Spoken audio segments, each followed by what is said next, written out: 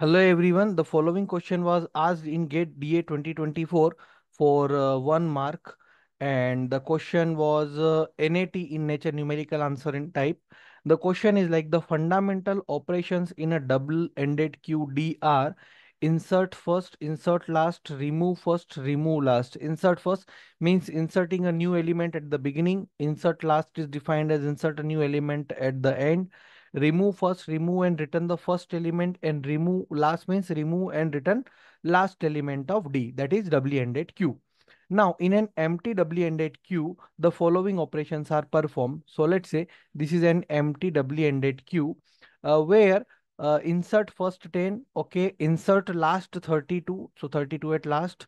Thereafter, uh, A removes first, so this is going to be returned and removed. This is returned and removed. Thereafter, insert last 28.